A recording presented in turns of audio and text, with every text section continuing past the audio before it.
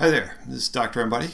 I am one of the two instructors for uh, CSE 231, the other one being Ali Raza. Uh, so what, what are we here for? Um, well, this is an introduction to uh, programming, computer science, and when you, uh, when you get onto the web pages, you'll see there's a video about uh, helping somebody walk, and it's a combination of mechanical engineering uh, and computer science to uh, you know make somebody's life better, and and that's why uh, computer scientists are are here. That that that's part of our goal, uh, as well as uh, many other disciplines. Uh, you know, so what is this course about? This course is really about problem solving. You may think it's about programming, but it's really about problem solving. And our goal is at the end of this course, uh, when presented with a problem, that you'll be able to say, oh, hey, I could write a program to do that. And we get feedback from students, you know, non-computer science students who, uh, in fact, uh, do that. Uh, you know, who, who's here? So uh, Dr. Enbody, I mean, myself and uh, Dr. Punch, uh, we wrote the book, we created the videos. Dr. Punch is actually doing working on the second course now and uh, you, know, the, you, know, the, structure of this, this is a you know, sort of a flipped or hybrid course. Uh, might be a little different than what uh, many of you have done before. It takes a different kind of discipline. And, and the idea is that our videos are supplemental to the text so that, uh, you know, hey, we wrote that text. I'm not going to type it all in again. Uh, and, and, the you know and we organized it so so the idea is that you read the chapter in the text you watch some videos, and then you do some exercises. There's a thing called a lab, and uh, and then you'll you'll do a programming project, and that's what you'll be doing every week. Uh, there are some people who will try and do this without the text. I, I don't recommend it, sort of under pro tips. Uh, you know, I'm, I'm very, very happy if you go out and find a secondhand uh, edition of the course, uh, I mean, of the text. Uh, you know, just uh, you know reading will will uh, uh, help make a lot of this other stuff uh, uh, make a lot more sense. It, it's made you know the design of the course is that you're in fact going to uh, do some reading. Again, very different than many courses. there were, will be two midterms and a final, and so your grades will come out of these you know, weekly chapter exercises and the weekly labs and the programming assignments. Uh, the thing is that the labs are kind of weird in that we expect you to do them, uh, but they don't actually count for points into the grade. In fact, they, we, we sort of reverse it. If you miss three labs, then we, we uh, deduct half a point off of your final grade. So if, if you're going to get a 3.5, you now have a 3.0. Uh, you miss yet another lab, now we dock you another half, half a, a final grade point. So uh, there's a high expectation uh, to get those those done, and and the details are, are in the syllabus. Uh, but let's take a look at the the web page. Uh, you know, so I'll show you here that, that it's uh, www.cse.msu.edu tilde funny squiggly thing uh, CSE 231, and when you go to that page, you get something that looks like this. In fact, just tonight I realized that the uh, um, that it still said summer 2017 until just a couple of minutes ago. Uh, I'm a little late making this video. I was uh, out at my daughter's uh, wedding. If you sent me email, hopefully Ali Raza was able to take care of it uh, because I was in fact off the grid. Uh, and when you look at this page, you will see that there that um, over on the, the left hand side here is a start here button. And guess what? That's a good place to start. And when you take a look at that uh, it gives you a little page gives you a quick little outline uh, you know some stuff that I've already talked about read a chapter in the text watch the videos uh, do some online exercises. And note I did say that those are collaborative. And then you complete a lab and there, there's sort of two types of people in this, two, two types of lab sections. Um, the great majority of you have a have a, a, a scheduled lab on campus in the engine, third floor of the engineering building. and there's a, there'll be a teaching assistant in there to help you through that. And, and that is a, a collaborative exercise. The truly online students in section 730, you'll do those on your own. And then every week, once we get rolling here, there'll be a, uh, programming project. Uh, notice that that is done on your own. And if you don't if you don't do it on your own, then you end up with a zero. Do that a couple of times, we'll flunk you for the course. So we take that pretty seriously. So watch out for the difference there. Uh, so you know uh, there are there are a couple of highlights uh, here, and these are actually live links. Make sure you look at the syllabus. There is a page that we call the due dates page. That's kind of handy because it tells you when things are due. And by the way, even though this is an online, you know, there's an you know you know these online videos. This is very much a synchronous course. There is stuff due all the time. You know, every week you have a uh, you know you gotta you gotta read a chapter you gotta watch the videos you gotta do the chapter exercises you have to do a lab and you have to do a programming project. Boom boom boom. We're hitting you you know pretty hard. This is a fast-paced course we got a lot to do. However uh, one of the biggest points of confusion about this course is that uh, this is in fact a first course for, in programming for people. Right, so so our expectation is that you have never programmed before uh, we're going to push you hard, but our expectation is that you've never programmed before. Uh, anytime we've done a survey in this course, we find that somewhere around 20 25% of the students have actually done some programming before, uh, but the great majority of you haven't. And, and it will feel like everybody around you already knows how to program, but that in fact is not the case. And in fact, the greatest predictor of getting a four point in this course is not having programmed. If you've programmed before, the, the uh, uh, you know, history shows that uh, the, our three points are, have the uh, greatest number of people who have programmed before. Our four points have the greatest number of people who haven't programmed before. So uh, if you have program, we, we don't actually know why that's the case, but it's been consistently like that for at least 20 years. Uh, one thing uh, uh, that that had okay, so, well let, let, let, me just keep going down the line here. Um, uh, you know, there, there will be this online uh, piazza that, that we will set up, a place for you to ask questions.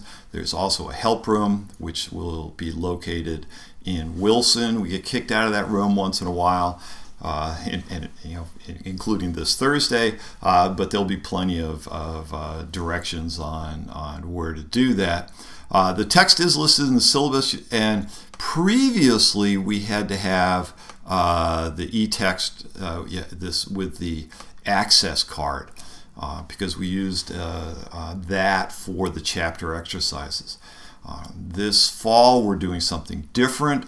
our, our programming projects are going to be handed in using this Mimir system and we are switching our chapter exercises to that also. There's a $25 charge for that, but that's that's the uh, the bad news. Uh, the good good news part of that is that uh, the, the previous system that we used cost $40. So uh, so we just saved you uh, saved you some money there. Uh, and, and let me back up now. So that, that's getting started. there's also um, the the syllabus. And there's a lot of stuff there in the syllabus. Highlights being that there's a thousand points in this course, and so you want to keep track of where those points are. Um, the labs, including the pre-labs, are required. So you don't get credit for a lab unless you do the pre-lab, and the pre-lab has to be done before the lab. Um, so you know, keep track of this. There's a lot of uh, lot of things like that. Um, be careful that uh, you know, that, that there are email there should already be email, uh, emails uh, from either myself or uh, uh, Ali Raza, uh, our, our other instructor. Um, and if, if, for example, you, you have MSU edu or CSE.MSU edu go to your junk, then you're going to miss our emails, and that will you'll miss a lot of things with that. Uh, not a good idea. So, so there's uh, there's Ali Raza. Um, uh, he's he's uh, an instructor for the department. Um, and and I, we are wonderful, wonderfully lucky to have him around. So there's things in here like the examinations and course projects and the chapter exercises. Uh, there are uh, exams and uh, we have locations for those. So there's two midterms and, and a final. There are lab exercises that are credit, no credit. Um, and as I mentioned already, uh, this this business of um, you know getting deducted half half a grade point on uh, you know for missing those. So watch out for that. Uh, computer projects are to be done individually. Okay, they're to be done individually. So uh, uh, you know, you know, those think of those as like sort of like mini, uh, mini little mini tests, and and so on. So uh, be careful of that. Uh, some academic integrity things in there. Let me, now let me move to the rest of the stuff. So online. Oh, uh, one thing that's important is that you will want to get the software for the for Python installed on your system. Right now, uh, the, the latest one is 3.6, unless they just changed it the other day. The important thing is, is that you want uh, Python 3, not Python 2. So, you know, 3.5 is fine, 3.4 is fine. If, if 3.7, you know, which is in um, uh, beta, uh, it, you know, if that comes out and you want that, that's fine. Just not two. It's got to be three. That's really what what matters here. Uh, and uh, you know, and, and, when you actually install it, let me bring up my version of it here. I think I have it running. Yep, looks something like that. That's uh, the Anaconda Spyder.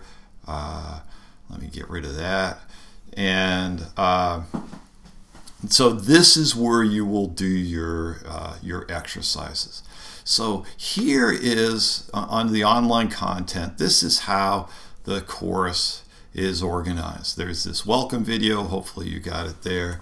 Uh, and then each week, week one, week two, week three, and so on. And when you click on one of these, you see that um, there is there is a, there is a reading to be done right, in this case, uh, chapters 0 and 1.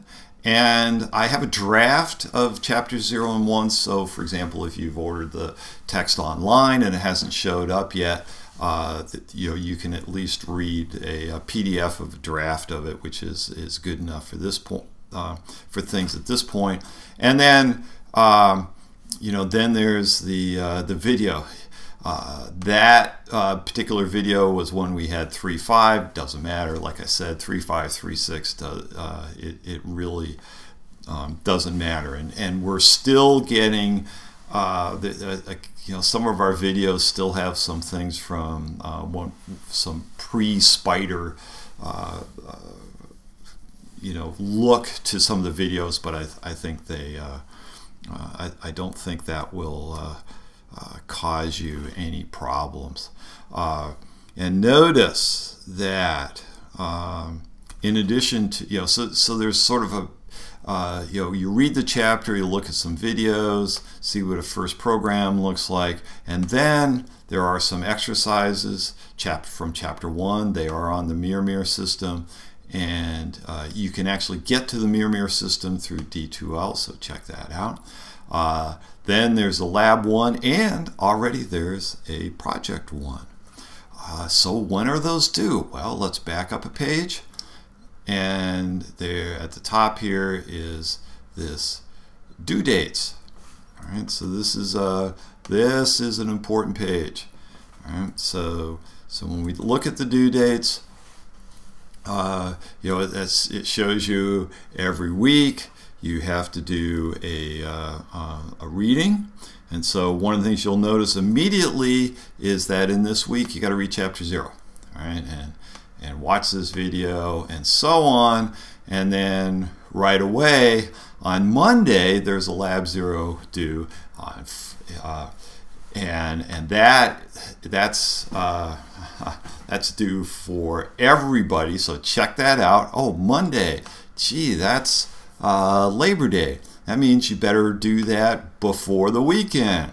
Uh, so, so watch out for that. Uh, and then these lab due dates are actually, as it says up here, labs 1 to 13. All, those are there for uh, the, the truly online se section 730s.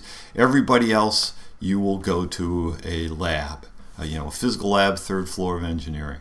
Uh, and notice that there are uh, exercises. Uh, you know, I put the due date on Saturday. They had to be due someday. Um, you know, you're actually better off doing them earlier. And then the following Monday, your first project is due, uh, and uh, you know, so you you wanna you'll want to get going on that. All right, and, and so this is your guideline to uh, uh, what's going on in the course. Notice there's kind of a rhythm to each week. You read a chapter, you watch some videos. Uh, there's always a project due, there's a lab that you go to, and then there's some exercise to do. And guess what? Next week, boom, we're off and we're doing it again. Uh, there's a programming project due every week, except during exam week. Notice there's no, no programming assignment due there, but we still have labs. Uh, and so it's boom, boom, boom, boom. Uh, the programming projects as we go in order here as they increase they increase a lot in difficulty because we're assuming that you've never programmed before we have to walk before we can run therefore they start off pretty easy. You can maybe do them on a monday get halfway through this course. There is no way you're going to get this thing done on a monday. Uh, it takes multiple days to do uh, these programming projects. Get started early.